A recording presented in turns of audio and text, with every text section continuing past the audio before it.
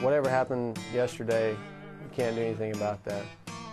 You know, you, you don't know what's going to happen tomorrow, so you can't do anything about that. The only thing you can control is is today.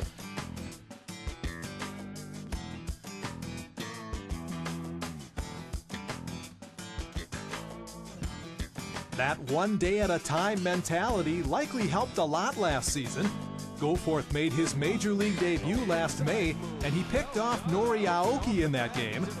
Goforth went back and forth between AAA and the majors several times during the season.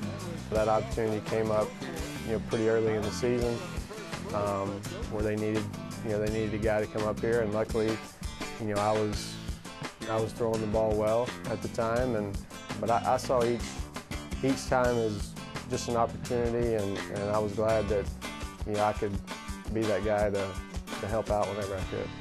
Goforth says his high school coach back in Mississippi taught him a lot about the kind of player he was. I really looked at him as you know almost like a like a second dad. I still keep in contact with him. We we talk a good bit, and uh, you know, definitely a like I said, kind of a role model and a guy that you know I looked up to, and a guy that helped me you know a lot along the way. The 27-year-old Goforth earned All-Star honors both at AA Huntsville and at AAA Colorado Springs, but he says that wasn't entirely due to physical ability. Goforth believes understanding the mental aspect of the game is a key to moving up the ladder. I've seen so many guys that were way more talented than I was, even in college, you know, even in some lower levels of professional ball, way more talented than I, I could even dream about being.